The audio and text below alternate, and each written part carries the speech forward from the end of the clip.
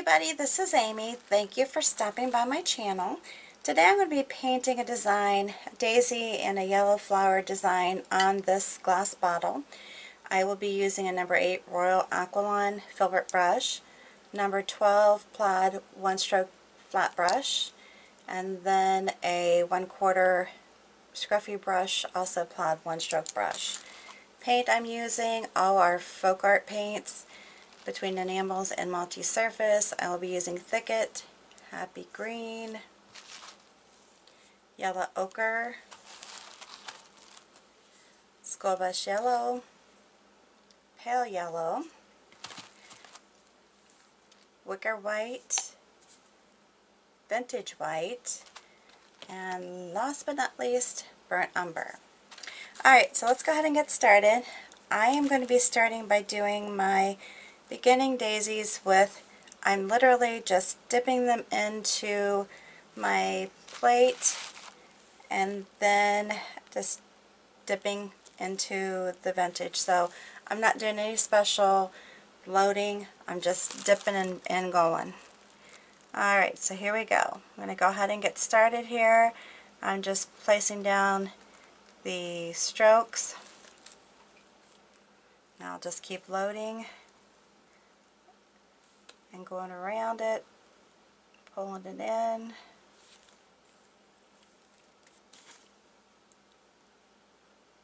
I'm just not real, as far as uh, loading them, loading the brush, I'm just dipping.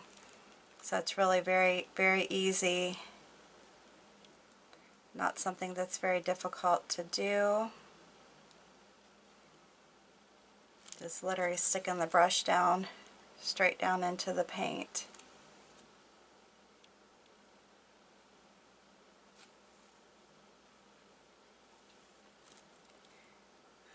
Alright. I thought this would be so pretty on this on this bottle. And I think I'm getting good coverage. You know, I like to have the opaque look. And I really think with the way I'm loading this, I'm getting a lot of paint on my brush. So it's definitely accomplishing my need to be opaque. Alright, so I have those, those down. Then what I'm going to go ahead and do is go through basically do the same thing. I didn't even clean off my brush. I'm dipping into the yellows and I'm using all three yellows. That's the School Bus, the pale yellow, and the yellow ochre. And first what I'm going to do is basically stroke in a bud, or what I would consider a bud. And I'm trying to make it a little round. Just stroking it in. And I want to make sure that it is opaque, so I am covering it up and going back in over it. Now you can bake this bottle if you'd like. I would recommend taking the lid off the lettuce, lettuce metal. And I would stand it up if you're painting any other sides besides the front. Just make sure that when you bake it, nothing's touching it.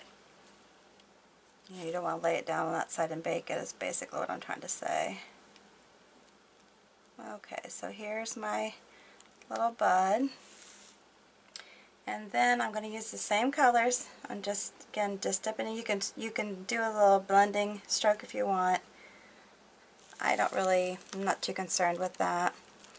But then I'm going to come back here and I'm going to stroke in my little, well, I guess they're five petal flowers.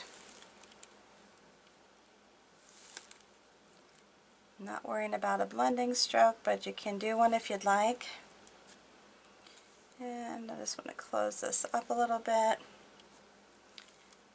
You know, if you want it to be more opaque, go ahead and keep working it. Not worried about that too much. Going to put another one here. I'm just touching my brush and pulling it. Touching and pulling. It's very quick pull. You can overlap them if you wish. You can turn your bottle if you feel like that stroke that you're getting isn't great. You know, you don't like it. Turn your bottle then. It's perfectly fine. So much easier than working on a wall or something that's can't be turned and then you're, you're stuck. Where you can't turn it and you've still got to keep you know doing these strokes. And making it look nice.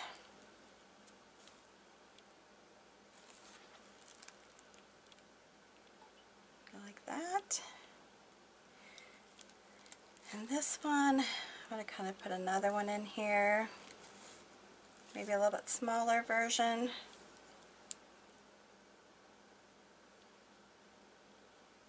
Like that. You don't have to use as many colors as I am. I just really wanted to use these three colors again. I used them in a more recent, I think it was in my last video actually, these three colors together. And I really liked them together, so here they are again. And then, I'm just going to put another one over here. Pretty easy flowers, very easy. Just push down, pull, push. You're pushing down and you're pulling.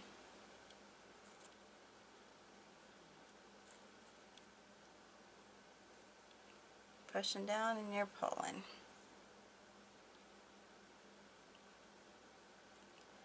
And there we go. And they don't all have to be the same color. You can have some that are lighter in color, some that look like they have more color. It, it really is up to you. For the centers, I'm going to use my Scruffy. And it too, I'm just dipping into all the colors. I'm just very random with this. And then I'm just going to come up here to it and put it in. If you feel like you need to have a little bit more color showing, you can go back and load your brush again. And you can turn it too while you're doing it. Very easy, very simple. I know I say that a lot. You guys are probably like, oh yeah, right. Okay, now what I'm going to do is just pick up a little bit of the brown, or try to try to be a little bit, and I do try to tap it off onto the glass a little bit so I don't have like full strength on there. But I just want it to be down here at the bottom, just kind of around the, the bottom here. And it doesn't have to be real uniform. I'm not really caring too much about that. I just want it to be down the bottom of it.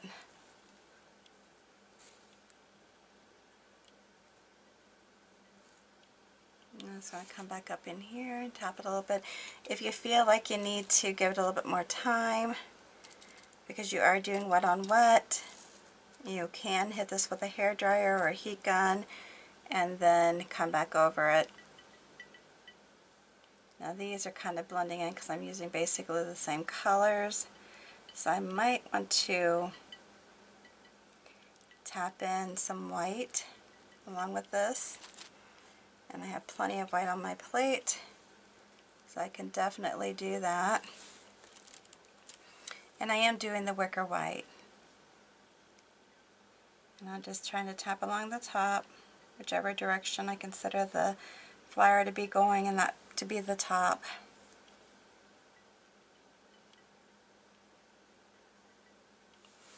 And then what I can do is do what I just did on the, the actual daisies and tap in the bottom.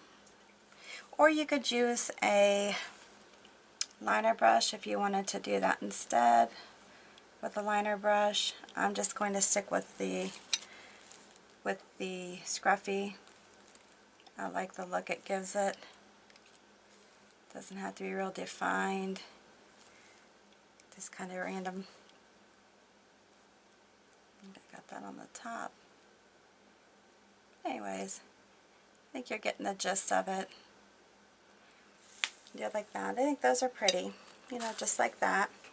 So then my leaves are going to be, well, let me turn this right the right way.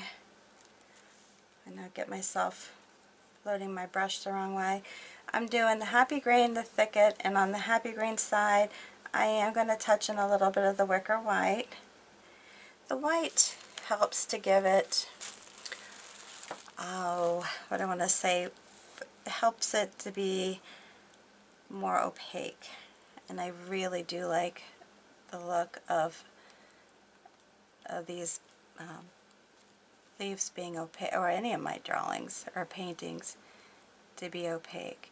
Now for the buds, I am just coming over it. Try not to scrape off too much of the yellow, but trying to do more of a bud looking over it. If you feel like you need more of the green, the lighter green, you go ahead and, and add, you can turn your brush around because it depends on how you lead your brush, what color you're leading with as to what result you're going to get.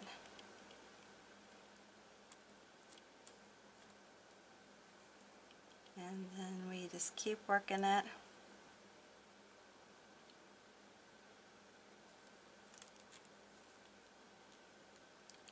And you don't have to touch real hard. You can you know, just touch it lightly so that you aren't dragging a lot of the underneath paint. Now this is what I'm talking about. I came back over it with my lighter green, but I have my brush going this way instead of the opposite direction, which would have more of the dark green showing.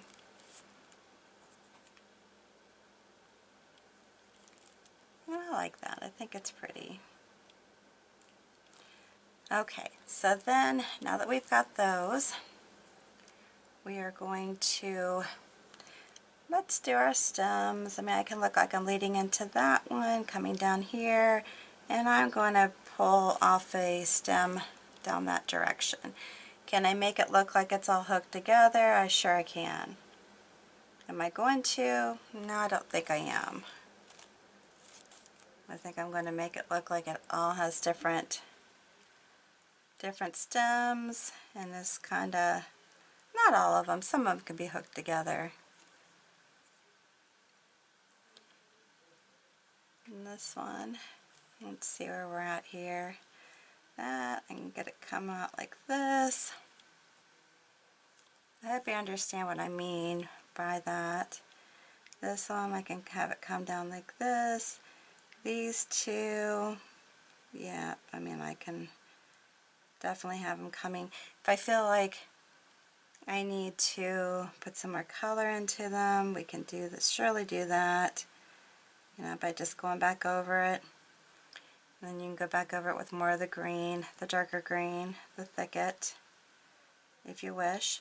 What I'm going to do now, I think I need to throw some more wick, um, not wicker, but some more of the thicket on here. Not a lot. Don't want to waste my paint.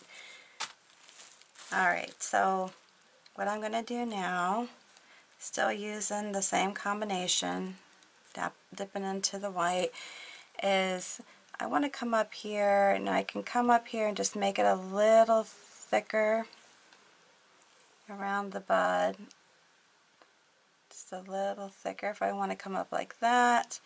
And then I can do some leaves. Okay, if you overlap, definitely okay. I can do like a little stem into the leaf if I want, and then do that over here. I can just randomly, I'm not going to use fancy leaves on this, because I think typically with daisies you don't have a real fancy leaf. I mean, you can actually just go with having like grass and stuff coming up around it. But for the purpose of this video, I'm just going to use some basically easy leaves. Just keep it simple. Keep it simple. I think eventually I'm going to do a leaf tutorial. And this one's, I'm not going to even add what I did over there. I don't have to. I don't, I don't have to make them look the same. And you can always come back down like this and put, and I put more greenery into it so it doesn't look like you just have wings. If you get what I mean. And then I can come up here. I can add two if I want. Just make them look like they're, or I can make it three. Add another one going up that direction. Like I said, I'm just going to try to keep it a little light and simple. You don't have to do very big leaves with this, or you can keep them all the same size. Up to you. But I like just to make it, oh, it's a little sloppy, make it very easy. And that's okay. You know, if it's easy, doesn't mean it's not nice. It just means that more than one person can paint it. You know, that it's something that a lot of people can paint and have a nice gift or a nice, you know, home decor piece without having to spend a whole lot of money. Because you don't on these. And it was in one of the groups I belong to, somebody said, well, where do you get your bottles at? And somebody says, well, I go through my neighbor's recycle bin. Especially if you're not a drinker, which I'm not. You know, for me to gather up bottles, I really have to get them from people that drink because I don't. It would take me forever. Like I said, we're just uh, doing that, keeping it simple, very pretty. You know, if you wanted to add in some other, you know, other little flowers into this, you could. I'm just going to keep it like that. I hope you like this video. If you do, please make sure you give me a big thumbs up. If you're new to my channel, make sure you subscribe and hit that notification bell. And then once you're done viewing the video, if you would share this video with all your family and friends on your social network, I would certainly appreciate it. Alright, until the next one, you have a good one.